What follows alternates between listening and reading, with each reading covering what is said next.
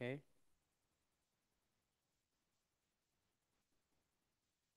Whoa. Um, Oh, are you sharing to the Zoom meeting? no.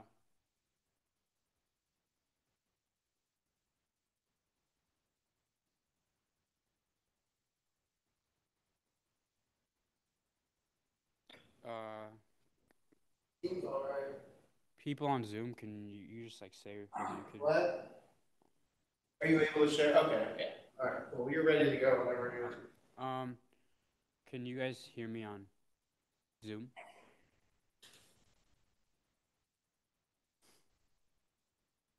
I'll take that as a yes. Um, okay, so the plan for today's recitation is to one, I'll just go over a f- couple s- slides from Wednesday's lecture that I feel like are valuable, and then after that, we're going to actually im- implement a very simple generative a- adversarial network. So, yeah, let's get started. Um, from Wednesday, what we had talked about was a generative a- adversarial network has a few parts, right? We have the generative model that is the one that we want to train. This is just the decoder inside of VAE. And we use adversarial training with another network to be able to converge our generator. Yeah, so the goal here is to model the training data distrib- distribution. This is going to be Im- important, as we'll see when we start to implement it. So we use um, two networks, the generator network and the discriminator network. And we use like a loss at the end that quantifies how well our generator is doing, i.e., is the things we produce real or synthetic. Yeah, this is just the overarching framework. Um, I hope you guys are somewhat familiar with this. Z is our latent noise. And what we want to do is take this noise, pass it through the generator, and generate some actual like data x prime. And then the discriminator takes in x prime and the real data x, and then it says, is this real or fake?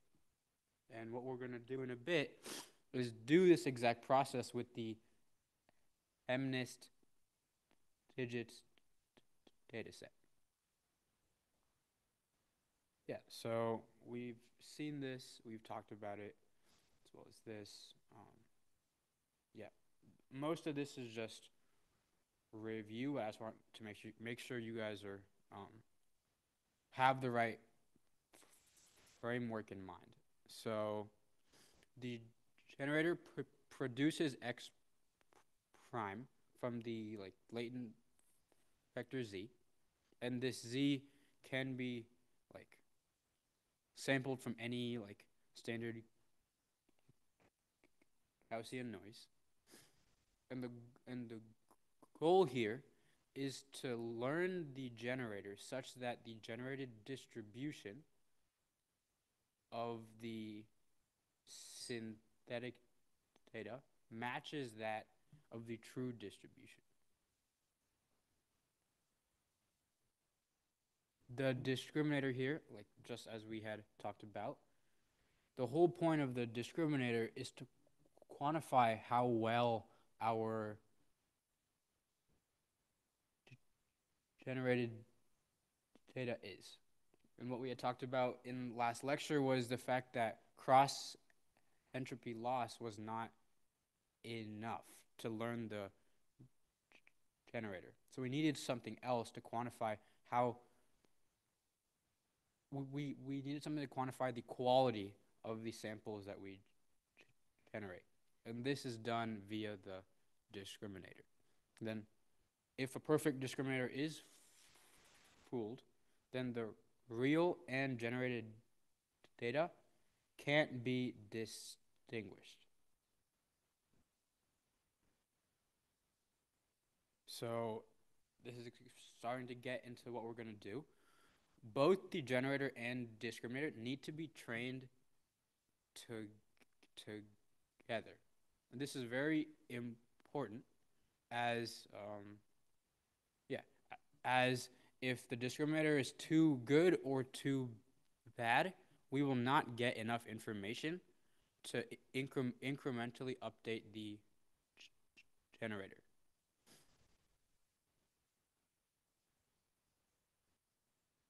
Yeah, so the last part before we get started with the implement implementation, um, the goal of the discriminator is to minimize this classification loss.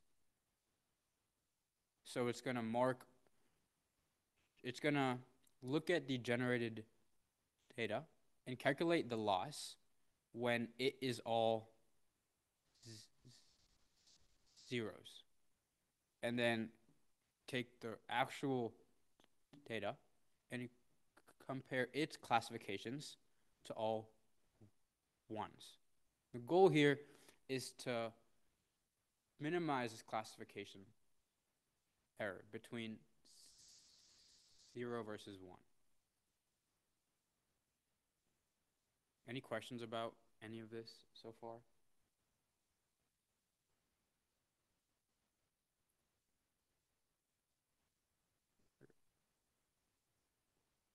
Yeah, so we want to maximize the probability of the discriminator setting a w- one for all real faces.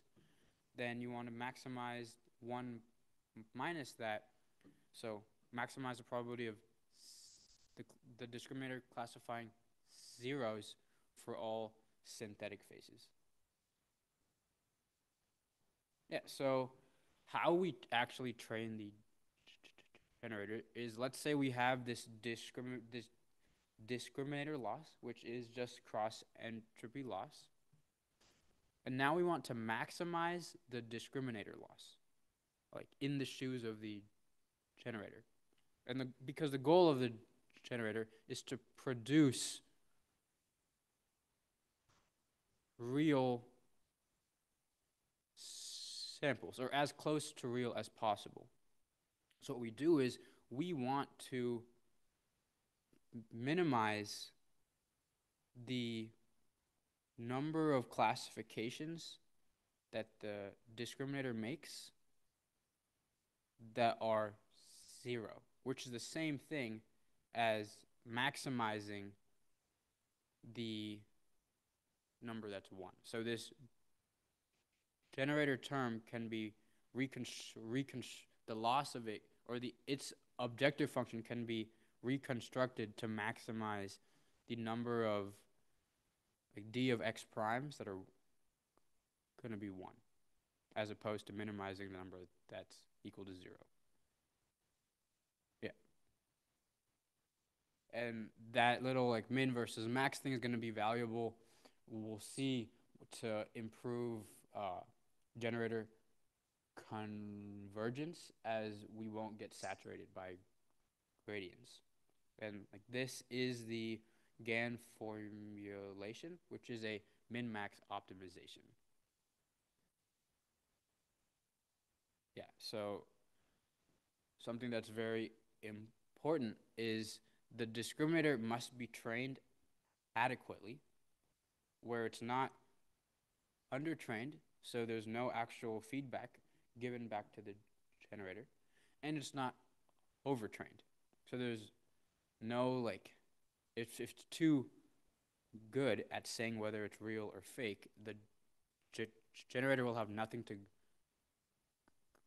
go off of.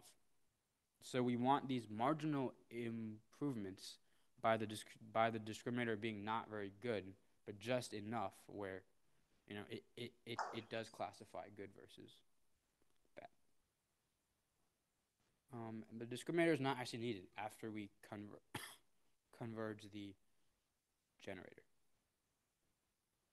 So, yeah, and this is the pseudocode for training a GAN, and we will actually see this in like five minutes, actually. Um, yeah. So inside your training loop, you will first pass your generator output to the disc discriminator, calculate the number that is like labeled real, calculate the number that's labeled syn synthetic. Use these to calculate the loss. And then once you have the loss of the dis discriminator, which is just a which is just the classification loss, you can do this some number of times. And like using the loss, you back propagate and update all the weights of the dis, dis just the discriminator. Now, what we can do after is then train the generator. And using that dis discriminator loss, we then backpropagate to the generator. Yeah, so that's all I really wanted to say from lecture. Um, I'll look at Zoom really quickly. Make sure you're muted on Zoom. Oh, okay. Yeah. Any questions about that? I, won't hop back on the Zoom thing. Um, okay, so I have this starter code that we will use. Um, feel free to work with me in your own notebook or something like that, and I will post all of this on the website afterwards. So if you miss anything, don't be too like, bogged down. Um, yeah, so in this notebook, we are going to implement a very simple, fully con fully connected generative adversarial network. Um, this is adapted from this link right here, and the goal of this GAN is to model the distribution of the MNIST dataset. So the goal is to try to generate samples that look like handwritten digits. And we'll see that we can actually do that pretty fast. So yeah, get started. I'll leave this configurations part blank for now and we'll come back and we'll see how that could change the network itself. We'll see that if you if we don't have the right parameters, the the loss will either will just go down to zero. So there's a lot of like hyperparameter tuning that has to be done to make this model converge.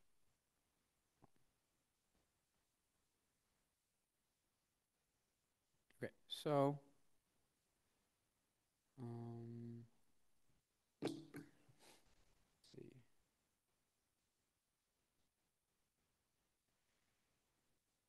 Okay, so let's get started. The first thing is just to load the MNIST data itself. Um, and this is not going to be too much. So to actually load the data, PyTorch actually has the MNIST data set. So we can download it using this command. And then in the configurations, there's a transforms that's going to turn the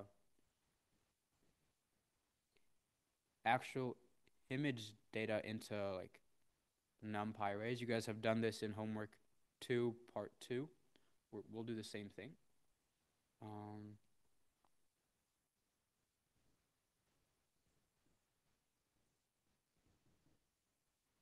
and then we want to download the data. So yeah, let's get started.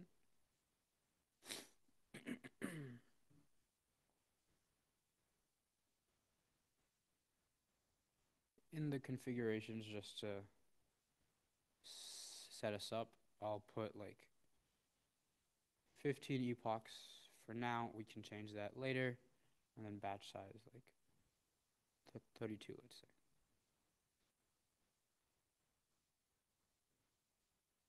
Yeah, so now that we have that, let us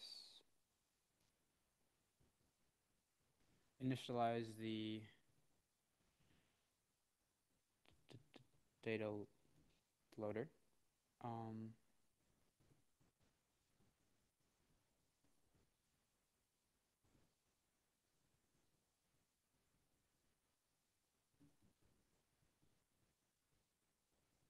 yeah, so this is just setting up the data set and the data loader classes.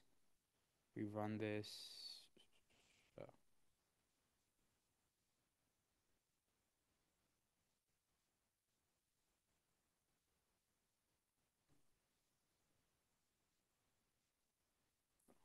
So, yeah. So we just downloaded the data. If you come on to the right, you should be able to see the MNIST data set right now. There are stored as U byte files, which is useful but not what we want to actually see what the images look like. So this right here just reshapes the image into 28 by 28, which is the size of of any image in the MNIST data set. Um, oh.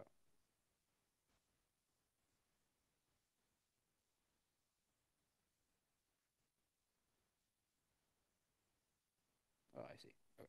Um, yeah, so for the transforms, we can specify this later. I'll just do this as 0.5 for the time being. Yeah, so this is the data that we have. The shape is batch size by number of channels, which here is just one, because there's it's everything is grayscale. The size of the image is 28 by 28, and then the y is what number we actually have. And this is not as useful to us as we're not interested in classification, we're interested in generation. So yeah, this is the data set that we want to model the distribution off of. Any questions so far?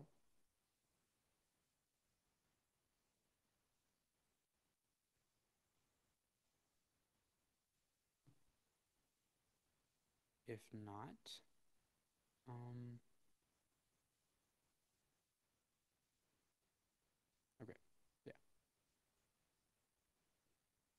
Now let's go on to actually implementing the generator and the discriminator.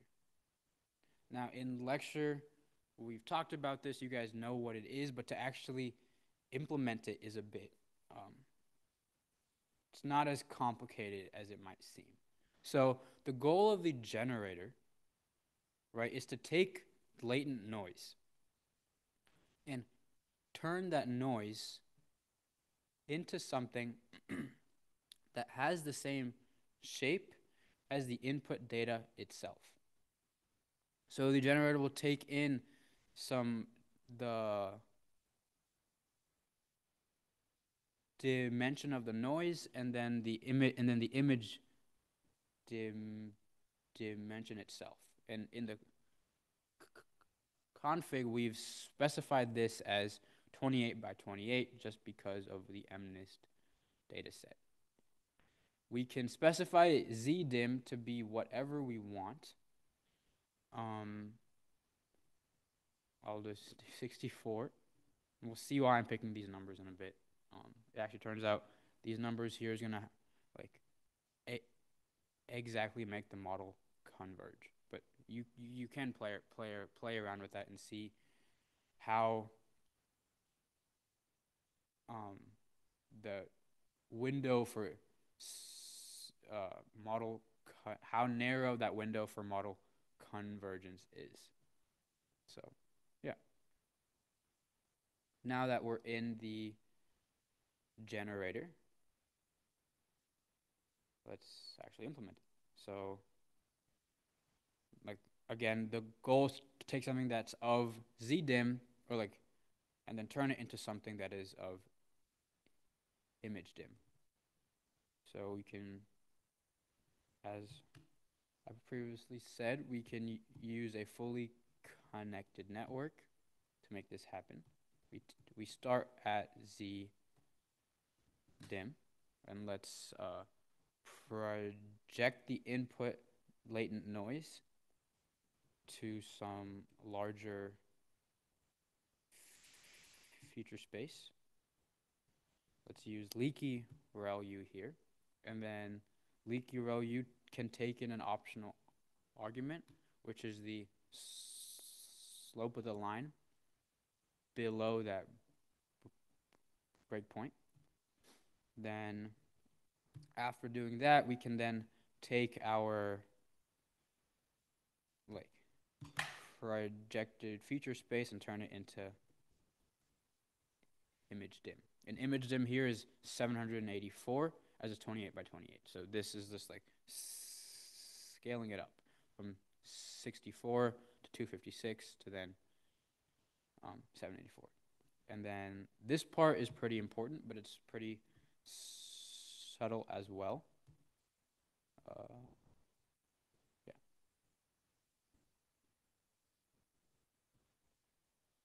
But we're doing tan H here because we want to normalize the generator outputs between negative 1 and 1. And this is going to be valuable because the discriminator will then take a normalized like range of values and use that to recreate the input itself.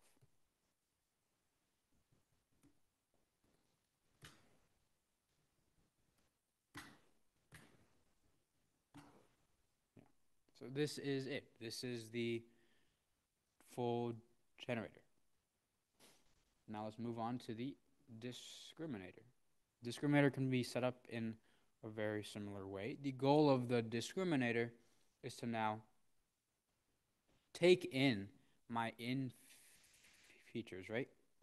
And turn that into the sh same shape as the true training data itself. So again, we can use a fully connected network, which is linear pro pro projections and, non and, and nonlinear activations.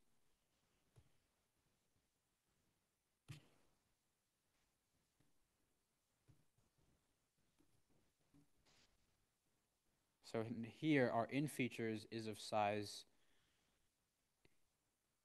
image dim. And then sorry, I think I misspoke. The dis- discriminator wants to takes in something that's of the size of our true input. So it's either going to take in the true data or synthetic data, and it wants to classify it as either real or fake. So our in features is of size 784. We can project that down to 128. Again, use leaky ReLU as our nonlinear activation. And then project this down even more to a single scalar. And here we can normalize this by using a sigmoid which then means our discriminator is fully just saying whether it's real or fake with the probability distribution that's equal to 1, which is exactly what we want. So yeah, this is the generator and dis discriminator classes. And yeah. Any questions about any of this so far?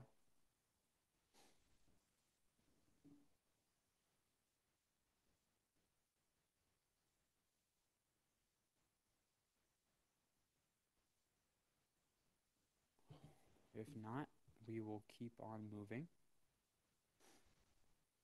And feel free to in, i interrupt me if there's any questions you guys might have.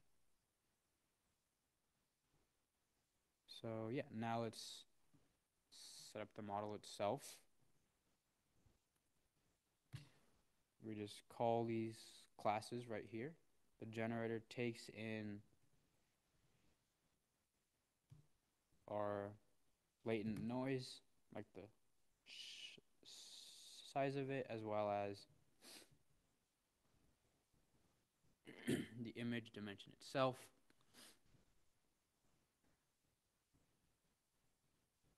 Let's Put that to the device.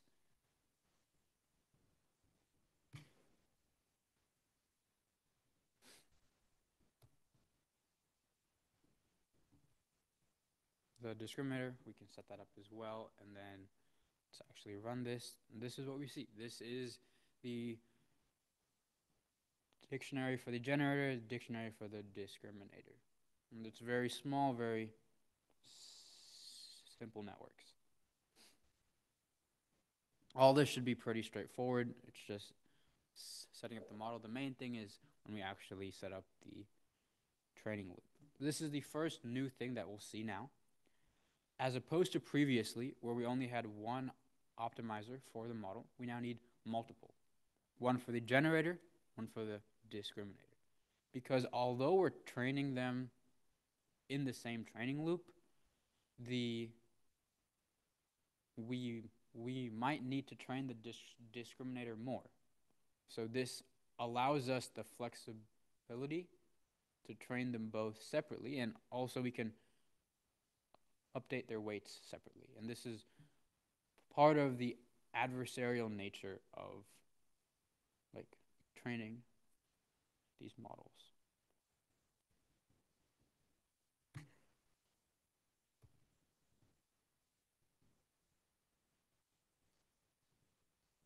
So let's take our generator parameters. Let's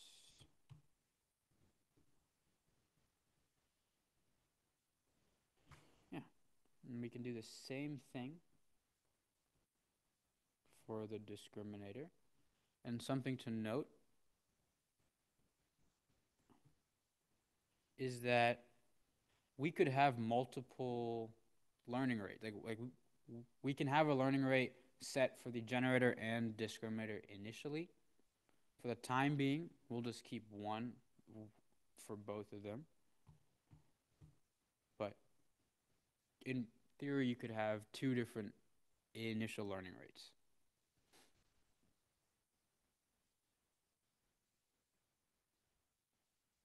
And then this is the binary cross entropy loss for the dis discriminator itself. Notice that we don't have a loss for the generator, as the generator uses the discriminator as a means to compute its own loss. And then you can read the documentation in PyTorch. Yeah. hopefully most of this is re review so far. Now we'll actually get into the adversarial nature of GANs. And similar to the lecture pseudocode, Try to find it really fast. Um, yeah. In our training loop, we had something for the dis, dis, discriminator and something for the generator. And that's exactly what we have. Inside our training loop, we have training the discriminators for like this many times then we go on and train the generator. So something that we use to, like, or something that we will use just for our own reference, is some fixed noise. This is going to be some fixed latent noise that we use as reference just to look at the progress of our generator. So we can just you know, make that noise. And then the shape of this should be of batch size by the latent dimension that we want, which is zdim. Right? And we are going to pass this through the network, so let's put this on the device. Now, these are going to just make a new folder here that helps us actually look at the images we create. We'll train it for so many epochs. Now, inside the data loader itself, we get our X and Y. We don't care about Y as we're not interested in the classification task. We're only interested in the image generation task. So let's actually, but this true image here, we want to ensure that it's of size like 1 by 784 as opposed to 28 by 28. So let's flatten this. Enforcing that it's that shape. Now we have this. We want to take our true images, generate our synth synthetic images, and then calculate the loss for the discriminator. So let's start by doing the same thing as above, but now this noise is something that we pass every time we iterate.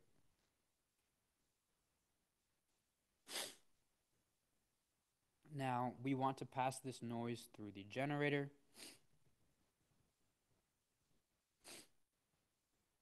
now that we have now we have our true images of size 1 by 784 and our synthetic images which if you look at modules this is also going to have shape of 1 by 784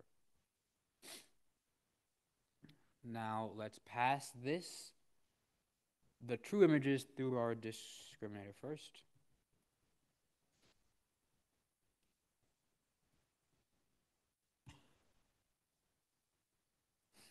and let's flatten the output, which should already be flattened, but just to make sure there's no like tensor in a tensor. We can do the same thing with the synthetic images. Right? So what we've done is we've sampled some simple distribution to get noise. Then we've passed this noise to get our synthetic images. Now, in one part, we, we are going to pass the true images and calculate the true loss. And then we'll pass the synth synthetic images through the discriminator and calculate its loss. This is probably the most Im important part of this adversarial training is how we characterize the loss. So we specified the discriminator loss as um, binary cross entropy loss between the target and the input probabilities. The target is this, or this is what we have, and what we want is to label the discriminator like the true images as one, right? Because this term, like in training the discriminator, we want to maximize this, which is setting uh, class one as true and class zero as syn synthetic. So let's label these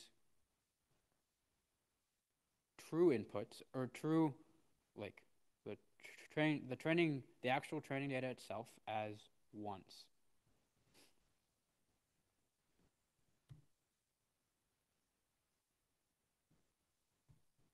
And torch.ones like is going to make a tensor of all ones in the same shape as disk true.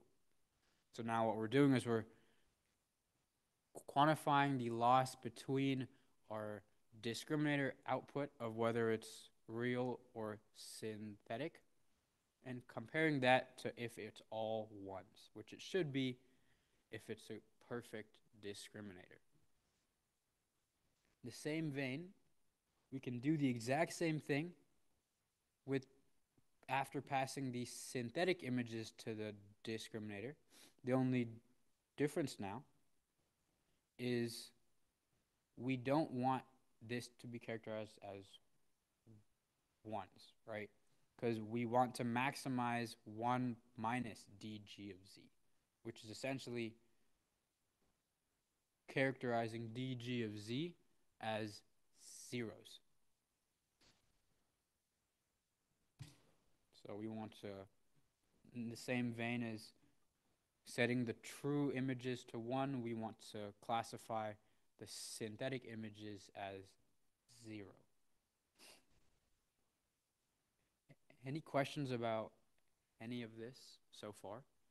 This is probably like one of the more valuable things and important things to stress. So I can pause here for a sec.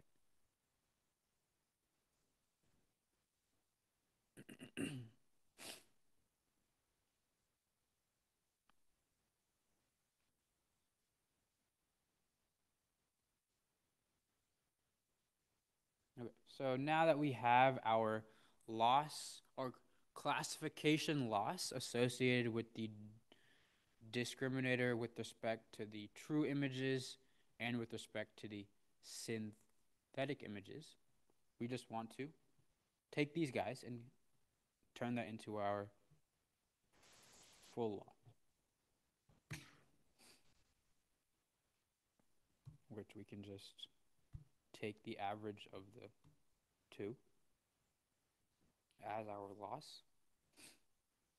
Yeah, so now we zero out the gradients, we use this loss to backpropagate through the network, and we keep this graph, we, we do retain graph equals true to keep the gradients in our cache memory, which is going to be helpful in terms of the speed of computation, and then we step the optimizer. This right here is the training loop for the discriminator itself.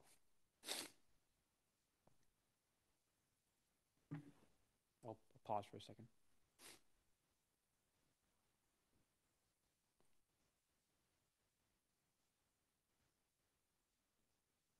Okay, so now let's train the generator.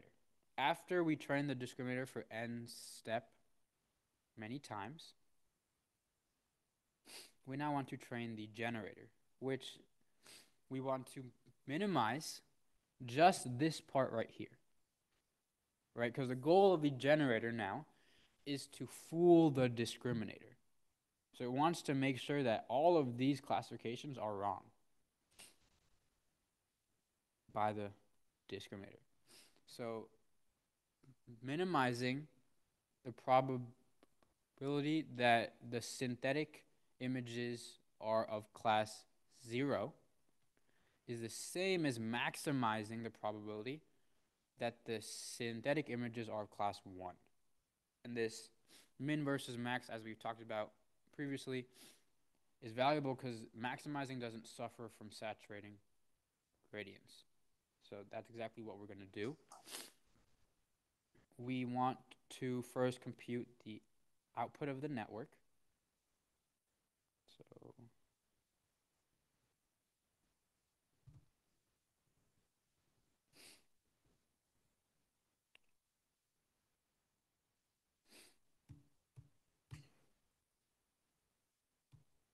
And then we want to flatten it.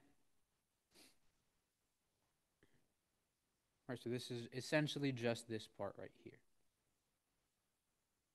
And then we want to compute the loss.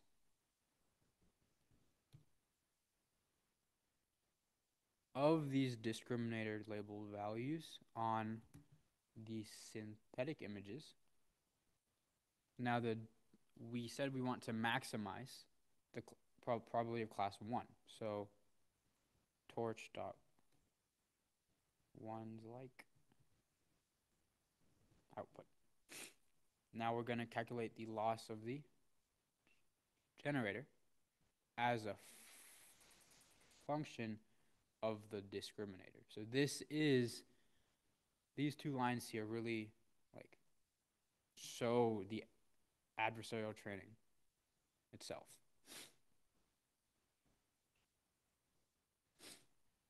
So yeah, then we want to take this loss and back propagate it through the generator and only the generator and then only step the generator's weights.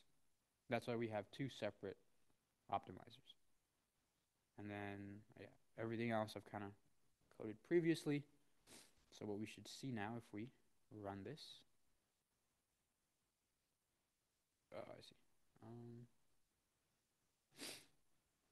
keep that as one. Everything else should be good. Yeah. Now what we'll see is loss generator, loss discriminator. And we're going to, and what this last part logging is going to do is it's going to take our fixed noise that we have, pass it through the generator, reshape it so it's of like the actual size of the, or like the actual size, shape of the image, and student save this. Sorry, did someone say anything?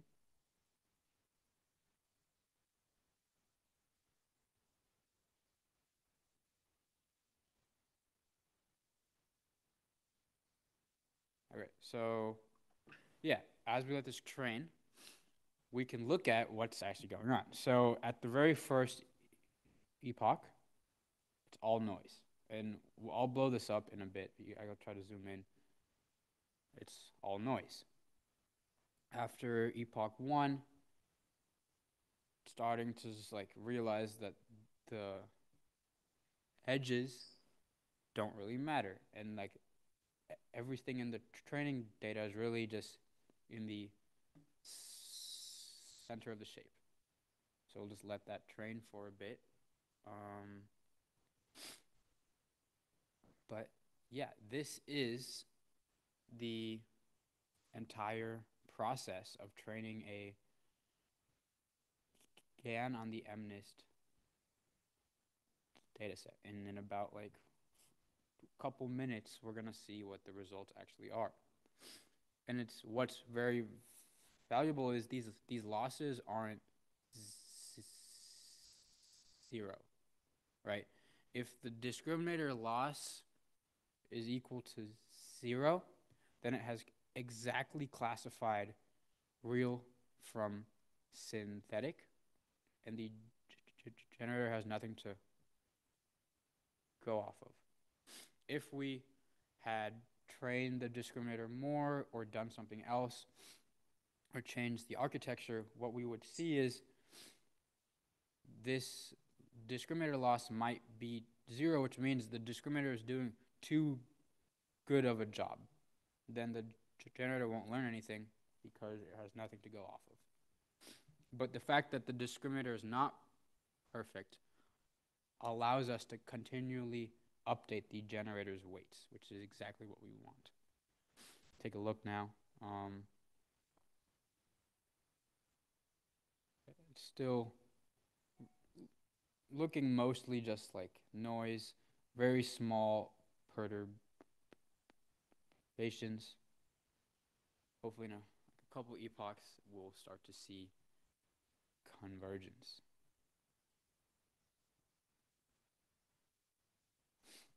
Yeah, any questions about any of this?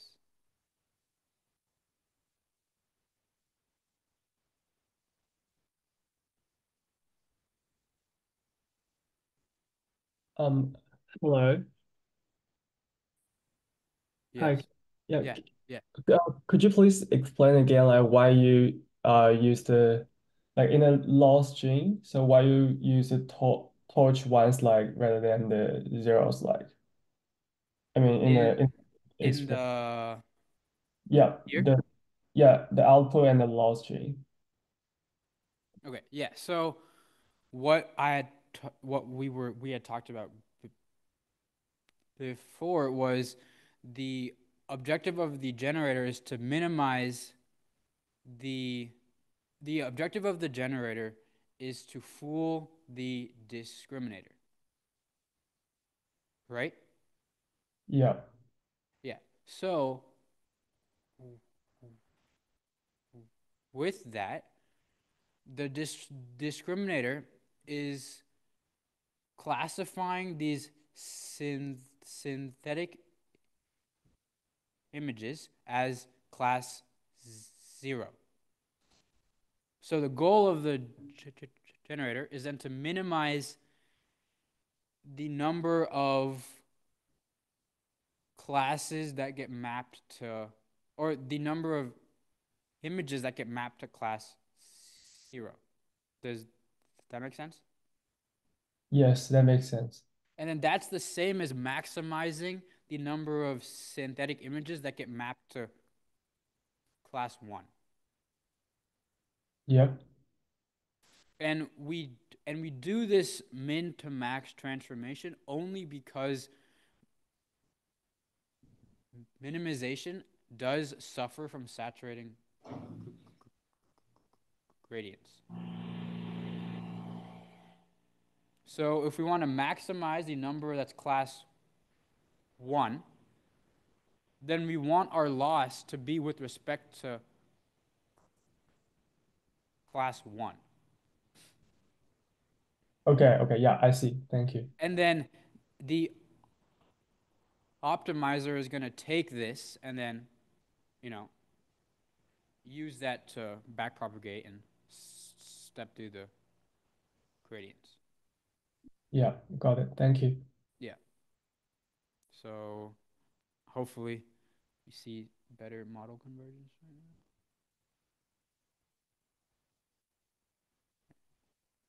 It's still roughly like that, but the shape is starting to change a bit.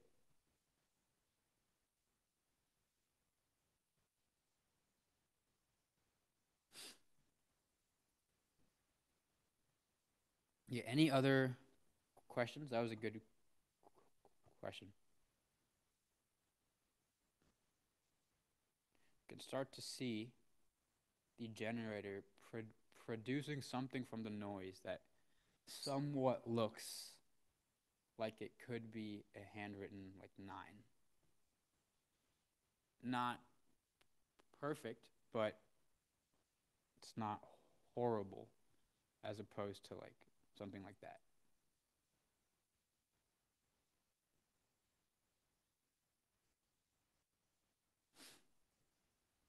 So we'll see the result pretty soon. And this one looks like a three or like an eight maybe. So you can see that the generator is doing something that's not horribly wrong. And then what we'll see, and you, you can play around with this once we share the this notebook. If you even change some of these hyperparameters, even in a small way, we'll see that we do not reach model con convergence. I normalize by 0.5.5 for a reason, because if we use the normalizations for the, and like use the mean and standard deviation from the true, like from the MNIST data set, it doesn't converge, or it, it takes longer.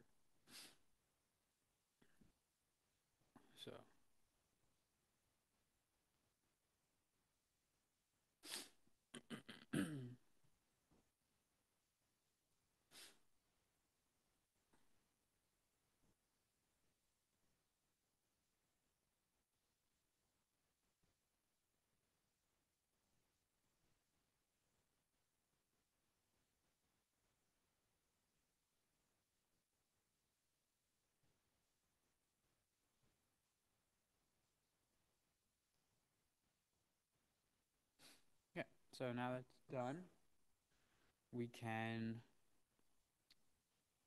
look at what we have plotted or what we've done. So, sorry, my layout's kind of, I'll try to refresh this. Yeah. So, this is 15 epochs worth of training. At first, it started at like almost all noise, noise. It kind of learned a little bit here and there, small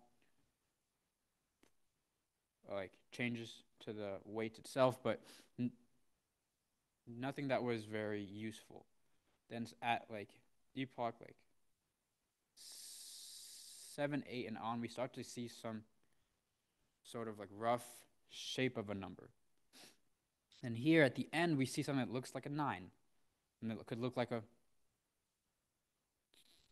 three. And if we kind of squint and maybe look, these could maybe be like the number six.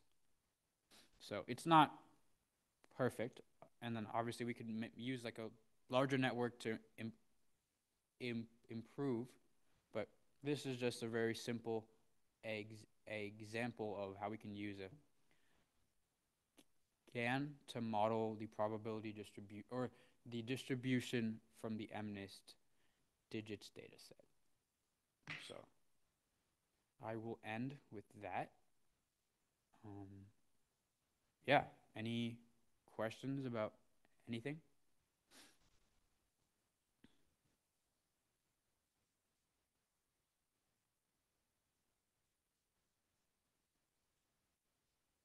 If not, thank you for showing up. I know it's really early. Um, yeah, feel free to post on Piazza if you have any questions, but have a good rest of the day. Thank you.